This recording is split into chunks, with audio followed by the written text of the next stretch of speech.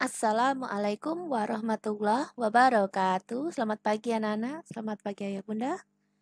Ketemu lagi dengan Bu Rosa di pelajaran bahasa Indonesia.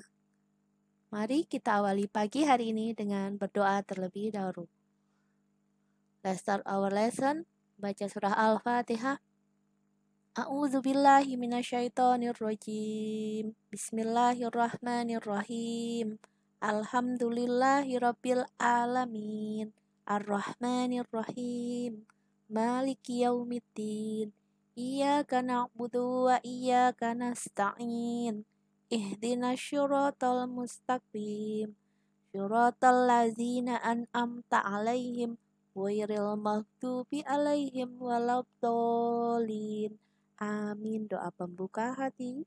Rabbi srohli sodari Wayasirli amri. Wahlul uqdatam mil lisani Yafqahu qawli doa tambah ilmu Rabbi sidani ilma warzuqni fahma waj'alni minas solihin doa mohon kemudahan. Allahumma yassir wala tu'assir. Amin ya rabbal alamin. Hmm, kita mulai belajar ya teman-teman. Tolong dipersiapkan alat tulisnya dan buku workbook tentunya. Silahkan dibuka apa yang akan kita pelajari hari ini teman-teman? Ya betul, kita akan mempelajari tentang hama. Apa itu hama? Hama adalah hewan yang mengganggu produksi pertanian seperti babi, hutan, tupai, tikus, dan terutama serangga. Ini pengertian hama dalam Kamus Besar Bahasa Indonesia. Dalam bahasa Inggris, hama e, disebut dengan pest hewan yang merusak tanaman atau hasil tanaman karena aktivitas hidupnya. Ada belalang, ulat, kutu. Ya, lanjut ya nak ya. Hama apa saja yang menyerang tanaman terong? Ada kumbang daun, bisa disebut epilachan, epilachna. Ini dalam bahasa biologi anak ya, seperti ini, punya nama-nama keren seperti ini. Ini dalam bahasa Indonesia adalah kumbang daun, Hama ini menyerang daun tanaman terong dengan cara merusak dan memakannya. Serangan beratnya bisa, bisa menghabiskan daun-daun pada tanaman terong dan menyisakan hanya tulang-tulang daunnya saja. Ada tungau, seperti ini tungau, berwarna kuning agak kehijau-hijauan. Ini bisa mengakibatkan daun layu dan mengering. Lanjut, ada kutu daun, Apis glossipi clover, ini bahasa biologinya. Seperti ini putih-putih kecil teman-teman bisa lihat biasanya pada daun itu di bagian bawahnya. Ada ulat gerayak ini ulat gerayak ada ulat tanah. Ada ulat buah. Ada lalat buah. Ini lalat buah biasanya agak besar ada trips. Trips ini kecil-kecil. Ini kalau begini kelihatan agak besar ya nak ini binatangnya cuma kecil sekali. Terbang-terbang. Ada kutu daun. Seperti ini kutu daun. Ini bisa membuat pertumbuhan tanaman bisa terhambat bisa membuat layu dan mati. Dan tugas teman-teman adalah mengisi LK halaman 38 dengan menuliskan nama-nama hama tanaman yang ada menyerang tanaman terong, menuliskan uh, dalam bahasa Indonesia bahasa Indonesia saja ya, kutu daun, trips, lalat buah, seperti itu ya nak ya. Dan bagaimana cara mengatasinya? Di sini ada teknik pengendalian hama pada tanaman terong, yaitu pengendalian secara teknis antara lain mengatur jarak tanaman, rotasi tanaman, menjaga kelembapan, membersihkan gulma dan tanaman inang. Tetapi biasanya apabila eh, tanaman terong diserang dengan beberapa hama, akan disemprotkan insektisida dengan cara kimiawi ya. Biasanya disemprot pada tanaman yang terserang seperti ini obatnya. Di sini kita juga akan mempelajari tentang bagian-bagian dari hewan. Yang kita pilih adalah bekicot. Ya ini ini juga termasuk suka menyerang tanaman terong, Nak.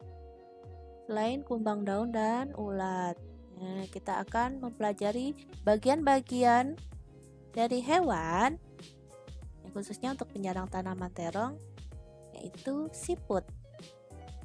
Di sini teman-teman bisa melihat video dari barcode ini beberapa fakta mengenai siput. Ini ketika siput memakan daun. Ini siput ini telur siput. Siput atau bekicot kurang lebih sama ya. Ada yang di darat ada yang di laut juga. Bisa dikonsumsi. Kan daerah-daerah tertentu ada yang mengonsumsi siput atau bekicot ini uh, dibersihkan dari uh, kotoran dan lendirnya sampai bersih dicuci berulang dan dimasak nggak ya. Bahkan jadi olahan makanan. Ada keripik bekicot ada sate bekicot.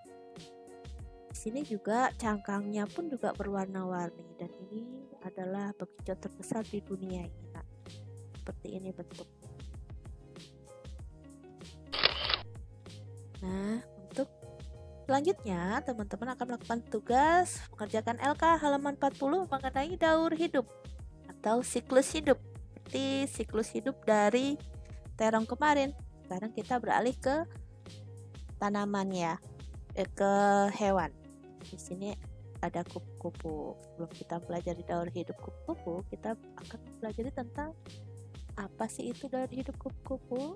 Disebut juga dengan metamorfosis ya untuk pada hewan. Daur hidupnya pada hewan itu metamorfosis dan metamorfosis pada hewan terbagi jadi dua jenis, ada metamorfosis sempurna dan metamorfosis tidak sempurna. Metamorfosis adalah perubahan wujud makhluk hidup dalam pertumbuhan dan perkembangannya. Untuk yang sempurna, contohnya adalah kupu-kupu dan katak. Untuk yang tidak sempurna, ada capung, jangkrik, kecok, dan belalang. Dikatakan sempurna karena melakukan empat tahapan yaitu telur, larva, pupa atau nimfa atau imago. Seperti ini ya. Mulai kupu bertelur jadi ulat, kepompong. Kepompongnya ini terbuka, jadi kupu-kupu ini dewasa keluar. Teman-teman bisa lihat scan barcode di sini. Teman-teman bisa melihat siklus dari kupu-kupu metamorfosis sempurna pada kupu-kupu. Lanjut ya nak. Dan uh, metamorfosis sempurna berikutnya adalah dari katak. Ya ini telur katak. Telur katak itu banyak ya. Ini adalah katak raksasa katak terbesar di dunia. Seperti ini bentuknya.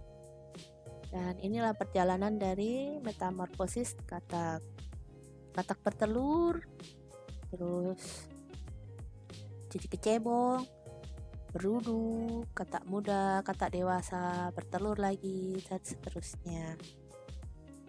Baik. Teman-teman di sini tugasnya menggambarkan kembali katak dan tuliskan lagi keterangannya. Jadi teman-teman ini teman-teman gambar di sini teman-teman kasih tulisan seperti ini. Akan Bu Guru ambil sebagai nilai SBK-nya teman-teman. Selamat mengerjakan teman-teman, semoga dimudahkan. Semangat, terima kasih anak-anak SD 3, terima kasih ayah bunda. Jangan lupa, jaga kesehatan, rajin cuci tangan, menghindari kerumunan, dan selalu memakai masker ya nak ya. Stay at home. Assalamualaikum warahmatullahi wabarakatuh.